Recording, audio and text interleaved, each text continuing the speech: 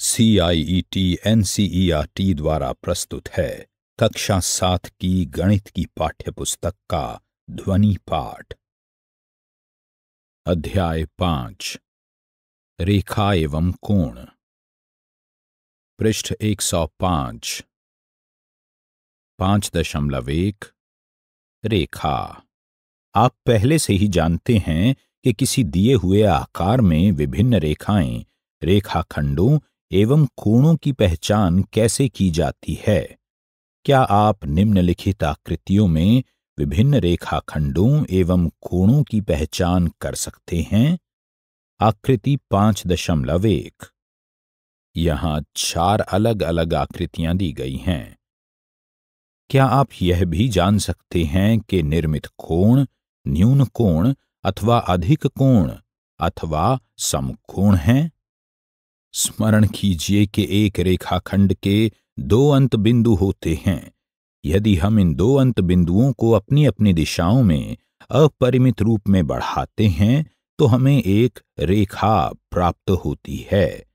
इस प्रकार हम कह सकते हैं कि एक रेखा का कोई अंत बिंदु नहीं होता है।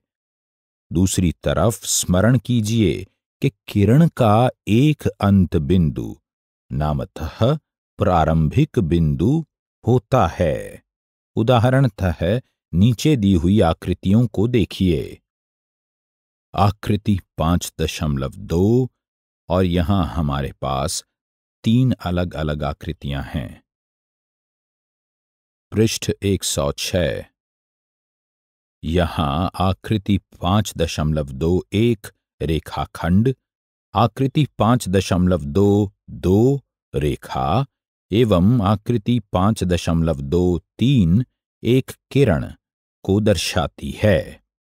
सामान्यतः एक रेखाखंड पी क्यू को संकेत पी क्यू जिसके ऊपर एक रेखाखंड का चिन्ह है, रेखा ए बी को संकेत ए बी जिसके ऊपर दोनों दिशाओं में बढ़ रही रेखा का चिन्ह है, एवं किरण ओपी को संकेत ओपी जिसके ऊपर एक दिशा में बढ़ती रेखा किरण का चिन्ह है। अपने दैनिक जीवन से रेखा खंडों एवं किरणों के कुछ उदाहरण दीजिए और उनके बारे में अपने मित्रों से चर्चा कीजिए। पुनः स्मरण कीजिए कि रेखाएँ अथवा रेखाखंडों के मिलने पर कोण निर्मित होता है। उपरयुक्त आकृतियों, आकृति पाँच दशमलव एक में कोनों, यानी कॉर्नर्स को प्रेक्षित कीजिए। जब दो रेखाएँ अथवा रेखाखंड किसी बिंदु पर प्रतिच्छेद करते हैं तो इन कोणों का निर्माण होता है। उदाहरणतः, दी हुई आकृतियों को देखिए। आकृति पाँच दशमलव तीन। यहाँ दो आकृतियाँ दी गई हैं। आकृति पाँच दशमलव तीन एक में रेखाखंड ए बी एवं बी सी कोण एबीसी का निर्माण करने के लिए एक दूसरे को बिंदु बी पर प्रतिच्छेद करते हैं और रेखाखंड बीसी एवं एसी कोण एसीबी का निर्माण करने के लिए एक दूसरे को सी पर प्रतिच्छेद करते हैं, इत्यादि। जबकि आकृति पाँच दशमलव तीन दो में रेखाएँ पी क्यू एवं आर एस एक दूसरे को बिंदु ओ पर प्रतिच्छेद करती हैं जिससे कोण P O S S O Q Q O R और आर ओ पी निर्मित होते हैं। कोण ए बी सी को संकेत ए बी सी और उससे पहले कोण का चिन्ह द्वारा निरूपित किया जाता है। इस प्रकार आकृति पाँच दशमलव तीन एक में निर्मित तीन कोण कोण ए बी सी कोण बी सी ए एवं कोण बी ए सी हैं। और आकृति पाँच दशमलव तीन दो में निर्मित चार कोण कोण पी ओ एस, कोण एस ओ क्यू, कोण क्यू ओ आर एवं कोण पी ओ आर हैं। आप पहले से ही अध्ययन कर चुके हैं कि न्यून कोण अधिक कोण अथवा समकोण के रूप में कोणों का वर्गीकरण कैसे किया जाता है? टिप्पणी, कोण ए बी सी के माप के संदर्भ में एम कोण ए बी सी को साधारणतः कोण ए बी सी के रूप में लिखेंगे। प्रकरण से यह बात स्पष्ट हो जाएगी कि हम कोण के संदर्भ में अथवा इसके माप के संदर्भ में बात कर रहे हैं। प्रयास कीजिए। अपने आसपास दस आकृतियों को सूचीबद्ध कीजिए और उनमें पाए जाने वाले न्यून कोणों, अधिक कोणों एवं समकोणों की पहचान कीजिए। पाँच दशमलव दो, संबंधित कोण। पाँच दशमलव दो दशमलव एक। पूरक कोण। जब दो कोणों के मापों का योग 90 डिग्री होता है तो ये कोण पूरक कोण, यानी कॉम्प्लीमेंट्री एंगल्स कहलाते हैं। पृष्ठ 107 आकृति पाँच दशमलव चार। यहाँ चार कोण दिए गए हैं। एक तीस डिग्री का कोण, दो साठ डिग्री का कोण, क्या ये दो कोण पूरक कोण हैं? हाँ। तीन, पैंतीस डिग्री का कोण, चार, पैंसठ डिग्री का कोण, क्या ये दो कोण पूरक कोण हैं? नहीं। जब दो कोण पूरक होते हैं तो इनमें से प्रत्येक कोण दूसरे कोण का पूरक कहलाता है।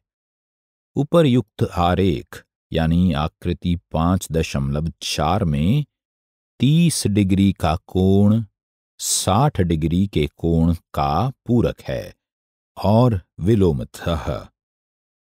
सोचिए, चर्चा कीजिए एवं लिखिए। एक, क्या दो न्यून कोण एक दूसरे के पूरक हो सकते हैं? दो क्या दो अधिक कोण एक दूसरे के पूरक हो सकते हैं? तीन। क्या दो सम कोण एक दूसरे के पूरक हो सकते हैं? प्रयास कीजिए। एक। निम्नलिखित कोणों के युग्मों में कौन से पूरक हैं? आकृति पाँच दशमलव पाँच। यहाँ हमारे पास चार अलग अलग जोड़े दिए गए हैं, जिनमें कोणों के माप साफ़ तौर पर स्पष्ट हैं। एक, सत्तर डिग्री और बीस डिग्री का कोण। दो, पिछहत्तर डिग्री और पच्चीस डिग्री का कोण। तीन, अड़तालीस डिग्री और बावन डिग्री का कोण। चार, पैंतीस डिग्री और पचपन डिग्री का कोण। दो, निम्नलिखित कोणों में प्रत्येक के पूरक का माप क्या है? एक, पैंतालीस डिग्री। दो, पैंसठ डिग्री। तीन, इकतालीस डिग्री। चार, चौवन डिग्री।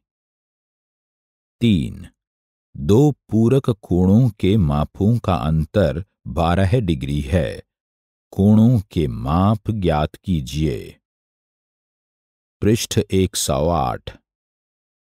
पाँच दशमलव दो दशमलव दो। समपूरक कोण। आइए कोणों के निम्नलिखित युग्मों को देखते हैं। आकृति पाँच दशमलव छ। यहाँ हम कोणों के चार अलग अलग युग्मों को देख पा रहे हैं, जिनमें उनके माप स्पष्ट हैं। एक साठ डिग्री और 120 डिग्री का कोण। दो, अड़सठ डिग्री और 112 डिग्री का कोण। तीन, सौ डिग्री और 80 डिग्री का कोण। चार 135 डिग्री और 45 डिग्री का कोण।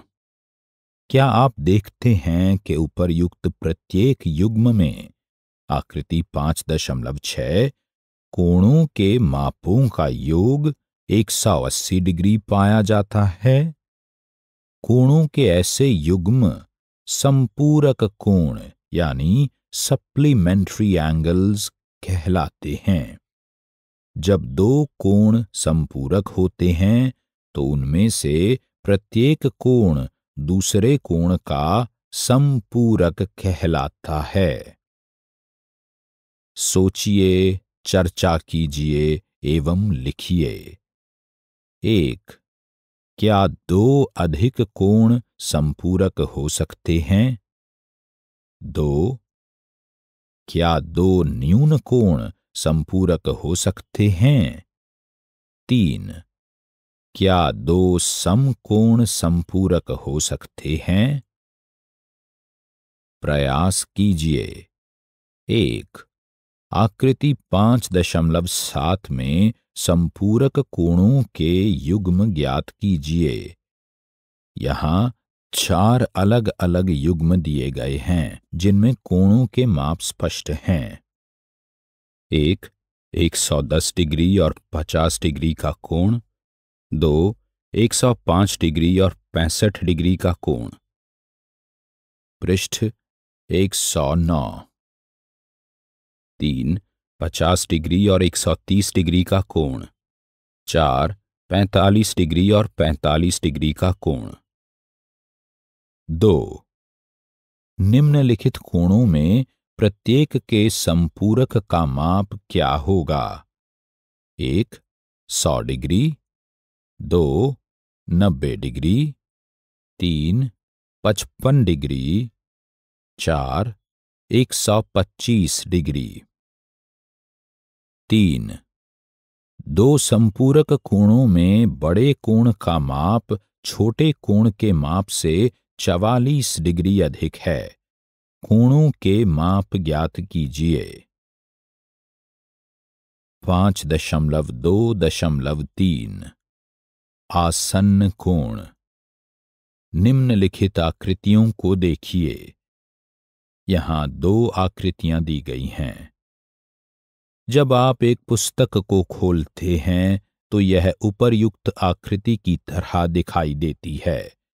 ए और बी में हम कोणों का एक ऐसा युग्म पाते हैं, जिसमें एक कोण दूसरे के साथ संलग्न है।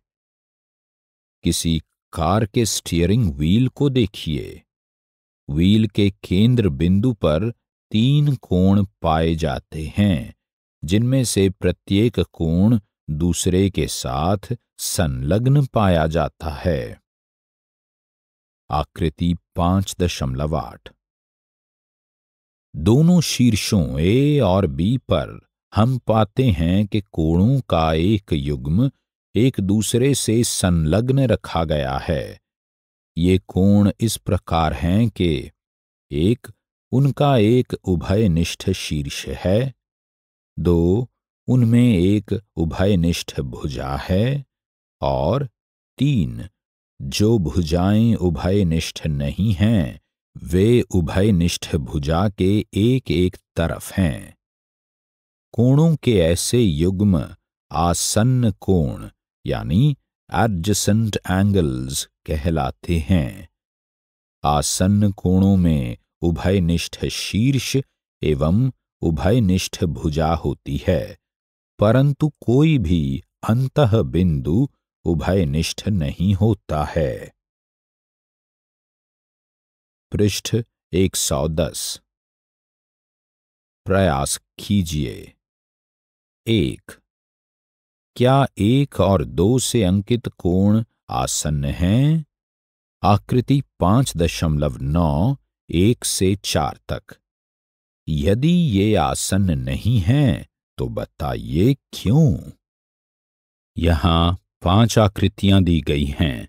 प्रत्येक आकृति कोण एक और कोण दो में विभाजित है। दो, आकृति पाँच दशमलव दस में क्या निम्नलिखित कोण आसन्न हैं? ए, कोण ए ओ बी और कोण बी ओ सी। बी कोण डी और कोण सी अपने उत्तर की पुष्टि कीजिए। आकृति पाँच दशमलव एक शून्य।